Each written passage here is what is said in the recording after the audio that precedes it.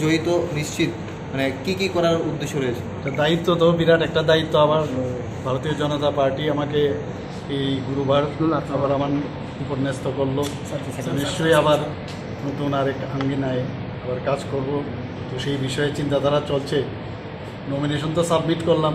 তো nomination submit করার পূর্ব মুহূর্ত পর্যন্ত চিন্তায় ছিলাম যে নমিনেশন সাবমিট করার যে একটা শিহরণ মনে প্রাণে সেটা অনুভব করলাম। কিন্তু আগামী দিন ত্রিপুরার জন্য কিছু একটা করতে হবে সেই বিষয়ে এখন থেকেই মাথার মধ্যে আসছে। এখানে আমাদের মাননীয় উপমুখ্যমন্ত্রী জিষ্ণুদেব বর্মা মহোদয় আসছেন। আমাদের ইউনিয়ন মিনিস্টার প্রতিমন্ত্রী প্রতিমা ভূমিকও এখানে আছেন। আমাদের হুইপ, চিফ হুইপও এখানে আছেন, কল্যাণী।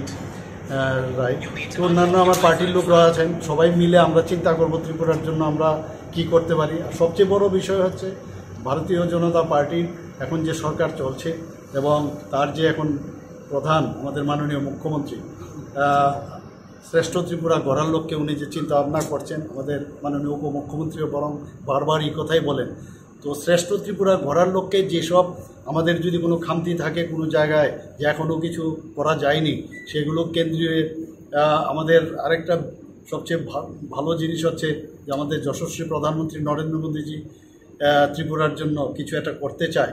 তো এই একটা সুন্দর একটা পরিবেশের মধ্যে যেহেতু একটা সুযোগ এসছে, তো রাজ্য সবাই গিয়ে ত্রিপুরার উন্নতির লক্ষ্যে, ত্রিপুরার কোনো অসুবিধা যদি হয় বা যে জিনিসগুলো এখনও হয়নি, সেই বিষয়গুলো আমি আনব এবং চেষ্টা করব সেটা আমাদের ভারত সরকারের গোচরে আনা। তো সেই বিষয়গুলো আমরা নিশ্চয়ই দেখব। আপনাদের সাথেও কথা বলব, সাধারণ মানুষের সাথেও কথা বলব।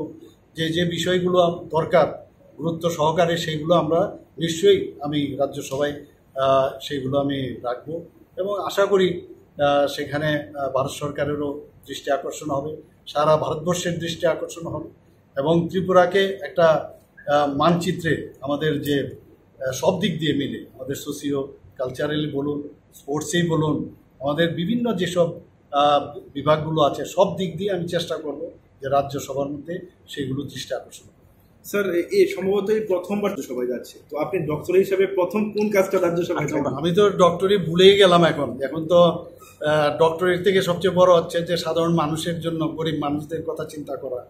এইগুলো এখন আমি, যেহেতু ভারতীয় জনতা পার্টি, আপনারা সবাই জানেন, সাধারণ মানুষের কথা বলে, অন্তিম ব্যক্তির কথা বলে। তো আমিও সেই ধারায় চলছি, আমাদের মাননীয় মুখ্যমন্ত্রী থেকে শুরু করে সবাই একই ধারায় প্রতিনিয়ত আপনারা দেখেছেন, গত পরশু দিনও যে বাজেট এখানে বাজেট আমার যে পেশ করলেন, উনি আমার সাথেই আছেন আমাদের ফাইন্যান্স মিনিস্টার কীভাবে যতগুলো বাজেট যে বিষয়গুলো উনি পেশ করেছেন এবং বিল পাশ হলো, সেগুলো দেখেছেন যে সবকটাই সাধারণ মানুষের। তো সাধারণ মানুষকে নিয়ে আমরা চলব এবং সবকা সাথ, সবকা বিকাশ যেটা আমরা বলি এবং তার প্রয়াস। তো এই বিষয় নিয়ে আমরা কথা কাজ করব আগামী দিন। আমিও সেই বিষয়ে, সেই নিয়ে আমি সামনে কাজ ডেন্টালের উপরে মেডিকেল কলেজ স্থাপন করার জন্য ডেন্টাল কলেজে তো নিশ্চয়ই এই বিষয়টা যেহেতু আমি ডেন্টাল সার্জন বেসিক্যালি পরে আমি পিজি করেছি ম্যাক্সিলোভেসিয়াল সার্জারিতে তো এই বিষয়টা আমি গুরুত্ব সহকারে অবশ্যই দেখব। সেই বিষয়গুলো তো আমাদের প্রপোজাল এখান থেকেও গেছে। আমিও আবার চেষ্টা করব যেহেতু এখন একটা বড় আঙ্গিনায় যাচ্ছি তো সেখানে এই বিষয়টা আমি দৃষ্টি আকর্ষণ করব। এর আগেও আমাদের সেন্ট্রাল যে হেলথ মিনিস্টার আছে ওনার ওখানে গিয়েছিলাম। সেখানে এই বিষয়ে আমি কথা বলেছি। তো নিশ্চয়ই এর একটা বাড়তি পাওনা আমাদের জন্য। তো যেহেতু আমি এখন আরেকটা সুযোগ বৃদ্ধি হলো, তো সেই বিষয়গুলো গভর্নমেন্টের গোচরে আনব। এবং আশা করি শুধু ডেন্টাল না, অন্যান্য যেসব বিষয়গুলো আছে, সব বিষয়েই কথা বলব। একত্রিশে মার্চ তো ভোট হচ্ছে। যে আমরা জানি যে রাজ্যসভার যে সাংসদ তা বিধানসভার যে ইলেকট্রাল কলেজ রয়েছে, তার মধ্যে আপনি বিধানসভার যারা অধ্যক্ষ মানে সদস্য রয়েছে, তাদের প্রতি কি বলবেন? ওনাদেরকে কি বলব? আমাদের যারা নিজেরা ভারতীয় জনতা পার্টির আছেন এবং অ্যালায়েন্স পার্টনারের যারা আছে, তাদেরকে আমি নিশ্চয়ই বলব যে আমরা ওনারাই আমাকে মনোনীত করেছেন। কাজে ওনাদেরকে আর কিছু বলার, আলাদাভাবে কিছু বলার নেই। ওনারা নিশ্চয়ই আমাকে সমর্থন করবেন। শুধু ওনারা না, আমি যারা বিরোধী দলেও আছেন, তাদের প্রতি আমার মানে আবেদন থাকবে, আহ্বান থাকবে যে ওনারাও যেন আমার প্রার্থী আমাকে দেখে এবং আমাদের ভারতীয় জনতা পার্টিকে দেখে ওনারাও আমার মনে হয় বিবেকের টা- ঐতিহাসিক ঐতিহাসিক।